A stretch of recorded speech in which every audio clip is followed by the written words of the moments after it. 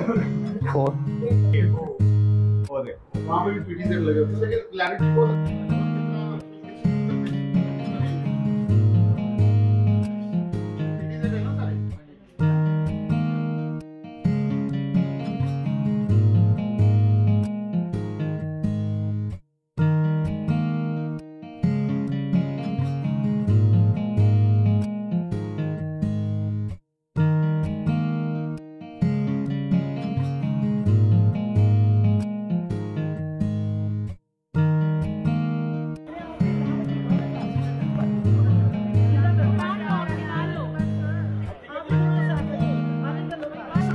Sanidad.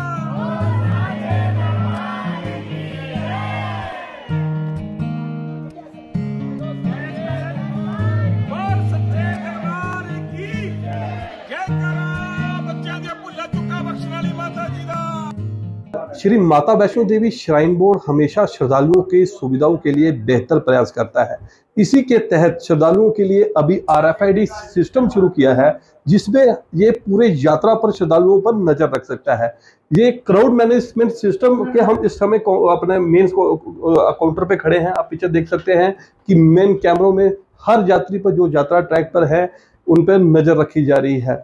अभी फ़िलहाल 25 कैमरे हैं जो उन पर नज़र रख रहे हैं और आने वाले दिनों में ये आंकड़ा बढ़ाया जाएगा और यात्री जो है, कहाँ है और किस परिस्थिति में है, वो पूरा नज़र रखे। आप दूसरी स्क्रीन में देखिए, इसमें किस काउंटर से कितने लोग अभी तक यात्रा स्लिप ले चुके हैं, उसका आंकड़ा बताया जा रहा है।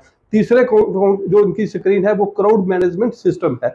इसमें इनको यहाँ बैठे पता चलेगा कि श्री माता वैष्णो देवी यात्रा ट्रैक पर जो मुख्य पड़ाव है, जैसे भवन सांझी छत, हिमकोटी, अर्धकुआरी या बैरव वहाँ कितने कितने लोग हैं? अगर वो आंकड़ा बढ़ता है, और जहाँ से ये, इसको जो एडमिनिस्ट्रेशन श्राइन बोर्ड की है, उनको बताकर उन श्रद्धालुओं को जो यात्रा ट्रैक पर हैं, उन्हें रोक सकते हैं, ताकि उन्हें पर्याप्त जो सुविधाएँ हैं पर्याप्त स्थलों पर रोक सकते हैं। आपने पिछले दिनों देखा होगा कि नए वर्ष पर भवन पर भगदड़ मची थी, जिसके बाद से श्राइन बोर्ड द्वारा सुविधाओं को अधिक बढ़ाने का तहत इस सुविधा को ऐड करने का फैसला लिया। अभी पिछले दिनों जब पानी आया तो यात्रा को विभिन्न स्थलों पर रोका गया। उसमें भी ये जो सिस्टम है ये मुख्य मददगार है। आइए इनसे जाने कि कैसे काम करता है। अपना नाम बताएँ। सर। ये कैसे कार्य करता है जो जो पूरा क्राउड मैनेजमेंट सिस्टम है? क्राउड मैनेजमेंट क्या है? जब यात्री अभी देखते हैं वैष्णो माता में हर एक स्टेट से हमारे लोग आते हैं यहाँ पर। तो क्या रहता है यहाँ पर रजिस्ट्रेशन का है हमारे पास काउंटर तो रजिस्ट्रेशन के दो मोड है। एक ऑफलाइन रहता है एक ऑनलाइन रहता है। पहले क्या होता था जो ऑफलाइन और ऑनलाइन दोनों अलग अलग रहते थे यात्री तो डायरेक्ट जाके दर्शन जाते थे। बट अभी क्या है चाहे आप ऑफलाइन आए चाहे ऑनलाइन आए बट आपको ये यात्रा कार्ड लेना मैंडेटरी है। यात्रा कार्ड लेने के बाद रजिस्ट्रेशन के बाद आप अपनी यात्रा शुरू करते हैं। और जब आप यात्रा शुरू करते हैं तो थ्रू आउट द ट्रैक हमारे 29 लोकेशंस हैं ऐसी हैं जहाँ पर आपको फिक्सिंग और वेरिफिकेशन पॉइंट से निकलना पड़ेगा। तो जब जब आप उस लोकेशन से निकलेंगे तो आपको कार्ड हमारा रीड करेगा और आपकी एग्जैक्ट रियल टाइम लोकेशन हमारे पास आएगी।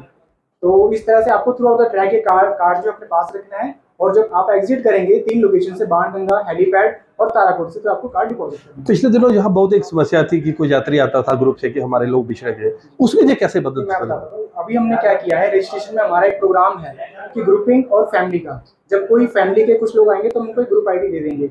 मान लीजिए कोई फैमिली में पाँच लोग हैं उन्होंने भवन में दर्शन किए हैं और अर्धकुआरी आते हुए सिर्फ़ चार लोग पहुँचे हैं और एक लोग नहीं पहुँचा है तो वहाँ पर जो हमारा वेरिफिकेशन काउंटर रहेगा वहाँ पर जो हमारा स्टाफ रहेगा आप उनको जाके हम डिटेल बताएँगे अपना ग्रुप आईडी बताएँगे तो उसके बाद क्या होगा हम उनका रियल टाइम लोकेशन जो ट्रैक कर पाएँगे कि उनको लास्ट जो देखा गया वो ट्रैक कहाँ किया गया। तो जोन जो रहेगा वहाँ पर हमारे जो पीटीजेड कैमराज और बुलेट कैमराज है उसकी मदद से हमको रियल टाइम जोन पता कर सकते हैं और उस जोन पे जो हमारे दूसरे स्टाफ हैं उनको कोऑर्डिनेट करके उनको पता लगेगा ये पूरे ट्रैक पर कितने जो कैमरास हैं जो इस समय कार्य कर रहे हैं? टोटल अभी जो कैमराज है वो क्वांटिटी उनकी 102 के आसपास है।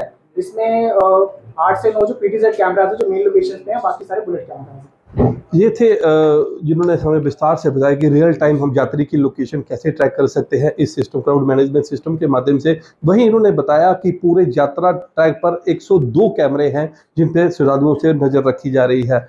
अगर कोई यात्री यात्रा के दौरान अपने परिजनों से बिछड़ता है तो वह उन्हें ये, इनके द्वारा एक ग्रुप आईडी भी पहले से दी गई जाएगी, जिससे वे उन्हें भी ट्रैक करें आपको बता दें 2012 में एक आंकड़ा था, जिसमें 336 ऐसे लोग थे जिनकी मिसिंग बबन सहित अर्धकुआरी और कटरा में दर्ज की गई थी, लेकिन उसके बाद वो यात्री कहाँ गए पता नहीं चला। वैसे होता क्या है, वह यात्री दर्शनों के बाद मिसिंग लिखाने के बाद अपने घरों में पहुँच जाते हैं, पर वो मिसिंग कागजों में ही थी। अमित शर्मा, पंजाब केसरी टीवी।